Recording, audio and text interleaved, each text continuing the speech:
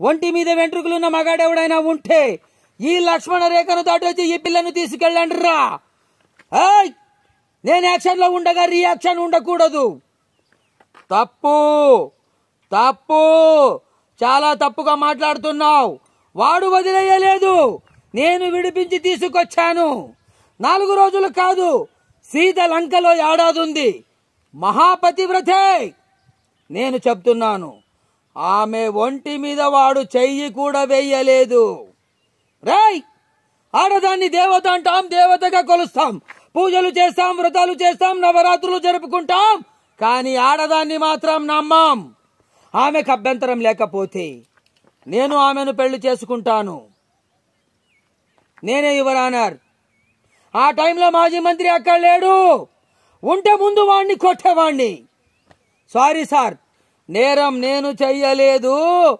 నేరం చేసిన వాడికి పనిష్మెంట్ ఇచ్చాను. ఉన్నారు సార్.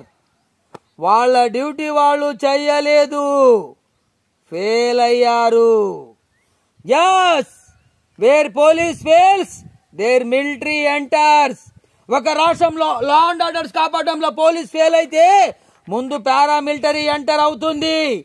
తర్వాత మిలిటరీ ఎంటర్ అవుతుంది.